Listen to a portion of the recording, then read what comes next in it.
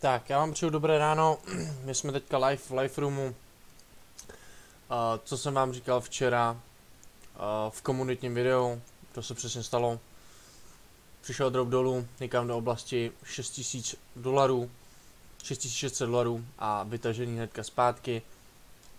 Uh, ASPčku jsme swingově zpátky point of control, to znamená někde 7000, 6714 dolarů, tam budeme vystupovat furt ten stejný setup, co jsem vám včera ukazoval zkrátka ve videu, nic složitýho.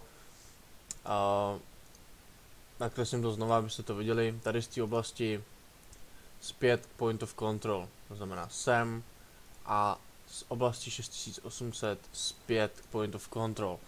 Byste to udělali, jdete na profit. Uh, já jsem vstupoval jak intradenně, tak swingově. Intradenně jsem skončil v nějakým lehkém zisku swingově nechávám, obě, uh, nechávám obchod na 6714 point of control.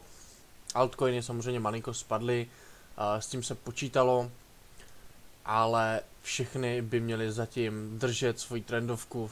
Když na to podíváme, tak prostě to je dropnutí, který uh, nemá téměř vliv na tu cenu.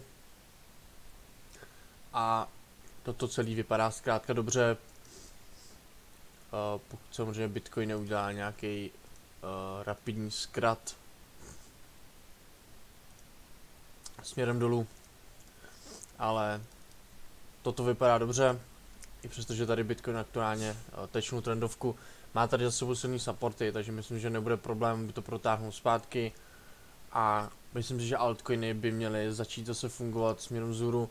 Nemyslím si, že Bitcoin zvládne teďka uh, propálit tady tu supportní úroveň, když se na to ještě jednou podíváte, je to tady prostě hodně Tohle to není prostě šance, naopak si myslím, že a nás bude čekat tady ten pohyb nahoru.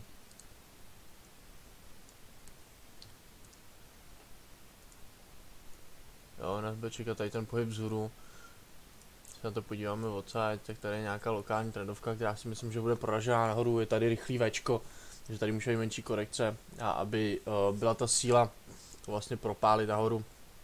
Altcoiny to potom budou dohánět. Osobně vidím altcoin ještě pozitivně.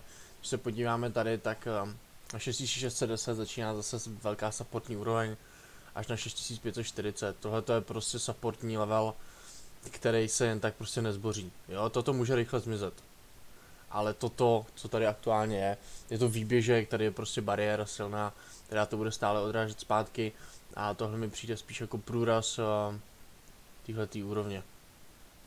Díky za pozornost, přeji úspěšný týden, ahoj.